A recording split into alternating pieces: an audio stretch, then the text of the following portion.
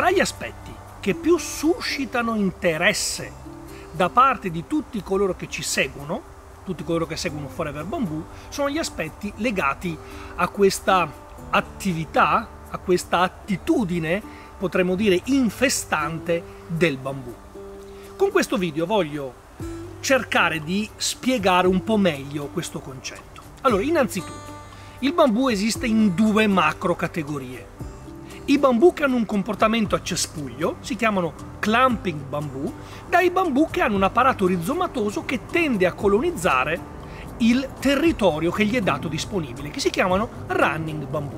Quello che vedete qui attorno a me si chiama Philostachys pubescens, è il bambù gigante che noi coltiviamo e che è afferente a questa seconda tipologia, ovvero running bambù. Quindi che tutti i bambù abbiano questa tipologia, ve l'ho appena spiegato, non è così. Quelli che noi coltiviamo hanno questa caratteristica, quindi un apparato rizomatoso che tende a colonizzare. Quanto è che tende a colonizzare? Beh, insomma, potremmo dire che un rizoma potrebbe fare 50 cm all'anno, sarebbe già un grandissimo risultato. Vuol dire che più o meno in 80 anni di vita di una foresta, la parte perimetrale potrebbe fare al massimo 40 cm. Per 80 anni cosa fa? 8, 16, 24, 32, 32 metri di avanzamento. Questo è il massimo che se non ci fossero contenimenti potrebbe fare. Perché dico 80 anni? Perché il bambù dopo 80 anni sostanzialmente fiorisce, una piccola percentuale di questi semi torna a germinare, quindi sostanzialmente se non ci fosse un intervento umano da una foresta morta rinascerebbe nuovamente una foresta e da lì per altri 80 anni avremmo nuovamente una progressione di questo avanzamento. Quindi non si sta parlando che in 100 anni un bambù può colonizzare una città intera. Al massimo che può fare sono 32 metri nel bordo perimetrale. Questo è il primo passaggio. Ma questa è una foresta lasciata naturaliforme, senza l'intervento umano. Quando noi invece di Forever Bamboo parliamo delle nostre foreste, parliamo del nostro metodo di coltivazione, del nostro metodo agroforestale di coltivazione del bambù gigante in Italia che prevede tutto un insieme di passaggi. I primi passaggi sono la gestione del terreno iniziale, la piantumazione, tutto lo sviluppo delle piante fino a portare una pianta alta un metro a piante come queste che oggi sono altre, alte oltre i 12 metri. Come facciamo a contenere questa vigorosità del bambù gigante? Allora le attività sono molteplici. La prima attività, lo vedrete tra un attimo, creare dei fossati perimetrali. Quindi tra il bambù intanto e il fossato noi abbiamo sempre una strada di 3-4 metri, quindi mai e poi mai avremo il bambù a confine. Abbiamo 3-4 metri di distanza dove passano i mezzi. Questi mezzi compattano il terreno rendendo difficile il passaggio del rizoma. Questo è il primo passaggio. Il secondo passaggio, dopo 3-4 metri, con costanza noi creiamo dei fossati che possono avere una larghezza minima con una profondità minima di 80 cm, ma come quello che vedete in questo momento sono profondi circa 60 cm ma larghi almeno 3 metri e sono costantemente nel periodo primaverile estivo e inizio autunnale riempiti d'acqua. Questo è un altro ostacolo. Dove c'è l'acqua non c'è il bambù gigante, perché il bambù gigante odia i terreni saturi d'acqua. Non è una pianta acquatica, una pianta che ha bisogno di acqua nei primi periodi di vita, ma dopo non ha più necessità di acqua. Questa è una foresta che noi non irrighiamo ormai da due anni. Si prende l'acqua che scende dal cielo ed è più che sufficiente così. Quindi 3 metri di strada perimetrale, strada battuta dai mezzi che girano attorno per la gestione e il trasporto per esempio delle canne che vedete qui riprese, un canale tutto perimetrale. Perché dicevamo 60-80 cm? Perché lo sviluppo del rizoma, il rizoma è la radice attraverso cui si propaga il bambù, è al massimo di 30-40 cm dal piano campagna quindi il bambù non è una pianta fittonante che va giù in profondità, è una pianta che si muove superficialmente. Quindi una barriera fisica come una strada, come un muro, come un fosso in questo caso, è sufficiente a bloccarne l'espansione. L'altro passaggio, quando il rizoma incontra la parete del fossato, la gemma apicale, sentendo la luce, vira e diventa canna. In quel caso lì la gestione, per esempio, del fossato fa sì che noi vediamo tutto ciò che arriva a bordo e possiamo serenamente con una gestione della trincia o con la gestione del decespugliatore andare a tagliarlo tutto quanto. Un altro passaggio che noi facciamo. Le strade perimetrali sono tagliate attraverso uno strumento che si chiama Ripper, che è una lama profonda 50 cm che taglia il terreno. Normalmente si utilizza nelle lavorazioni agricole, generalmente accoppiate o in numeri dispari di 3, 5 e anche più lame servono per tagliare quella che si chiama suola di lavorazione. Ebbene, noi la usiamo per interrompere eventuali rizomi che dalla foresta si spostino verso l'esterno. Siccome il rizoma per muoversi ha bisogno della forza della foresta, perché è la foresta che grazie alla sua diciamo attività di fotosintesi clorofiliana ingloba energia e riesce a far progredire il rizoma, senza questa unità con la foresta il rizoma si blocca, non ha la forza di procedere oltre.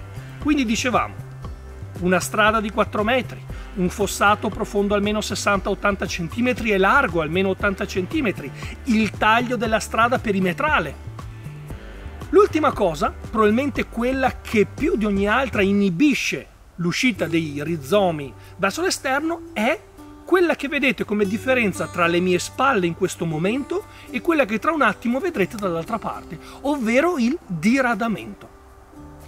Perché i bambuseti sono costretti attraverso i loro rizomi a andare a colonizzare lo spazio circostante perché al loro interno non c'è più aria, non c'è più spazio per far crescere nuovi germogli a primavera e quindi siccome lo spirito del bambuseto è quello di far crescere germogli nuovi ogni anno, non essendoci spazio all'interno, si sposta costantemente verso l'esterno. Ebbene, cosa fa Forever Bamboo ogni anno sui suoi bambuseti? estrae diradando il 30% delle canne da tutta la superficie. Questo capite bene che significa che se io asporto il 30% delle canne da tutta la superficie, il bambù crea uno spazio del 30% dove può far generare dai rizomi nuovi germogli a primavera, come sta accadendo quest'anno e li vedete intorno a me, sono davvero davvero tanti. Quindi il diradamento, che vuol dire liberare la superficie togliendo canne, per noi almeno il 30%, significa lasciare spazio alla foresta, di dedicare forti quantità di energia alla crescita del germoglio. Perché dico questo? Pensate che il germoglio, quando esce a primavera, in circa 60 giorni è all'altezza massima prevista per la sua genetica. Vuol dire che se una canna che deve andare su 10 metri, Ebbene, in 60 giorni sarà su a 10 metri. Ora, come fa un germoglio a salire a 10 metri? In 60 giorni. Lo fa solo perché tutta la massa di canne che collabora e partecipa di quel rizoma si priva in quel momento di energia per fare spingere in alto il germoglio tutta l'energia è rivolta a quello specifico momento, cioè la crescita del germoglio e la spinta verso l'alto. Se c'è spazio, quindi la foresta è intelligente e dirà lì ho già una colonizzazione di miei rizomi, lì c'è spazio per far nascere nuovi germogli, lì c'è quantità di foresta già adulta che può darmi energia per spingere in alto il germoglio e farlo crescere nelle migliori condizioni. Non è interessata ad uscire. La botanica, la crescita e lo studio delle piante ci spiega che le piante sono altamente intelligenti, altamente economiche ed ecologiche, altamente ergonomiche nelle proprie scelte. Ok? Quindi in questo caso il diradamento fa sì che la foresta si concentri più al suo interno e non al suo esterno. Certo, qualche cosa potrà anche uscire, ma con i controlli che abbiamo detto prima, la foresta è assolutamente tenuta a bada. Difatti, con l'immagine che vedrete tra un attimo, vedrete che non esistono rizomi che siano usciti dalla strada e siano andati verso il fossato. Anche perché se ci fossero in questo periodo dell'anno con l'asciutta del canale, voi vedreste il rizoma che esce e vedreste la canna uscita. Invece non ce n'è nemmeno una. Non sono nemmeno arrivate in questi anni a recuperare ovviamente i 4 metri di strada e a bucare il fossato. Questo significa per noi protocollo agroforestale di gestione di una foresta di bambù giganti in Italia da parte di Forever Bamboo.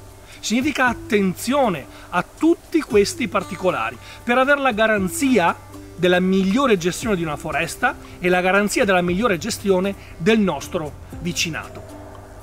A domanda, ma tu non sei costretto a diradare, potresti dimenticartene non me ne posso dimenticare perché il protocollo di gestione è quello che consente dall'altra parte questo grande assorbimento di CO2 e quindi dall'altra parte la prima business unit di Forever Bamboo che è la cessione di questo assorbimento alle aziende che vogliono mitigare.